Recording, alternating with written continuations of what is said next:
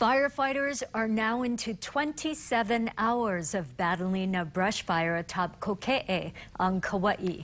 The state land department says the fire has burned about 400 acres so far, and the blaze is about 40% contained.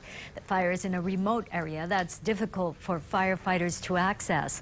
The fire started about one mile east of Koke'e Road on Poki'i Ridge at about 7 o'clock last night. Kauai police say Koke'e Road although closed last night, is open now. The cause of the fire is not yet known.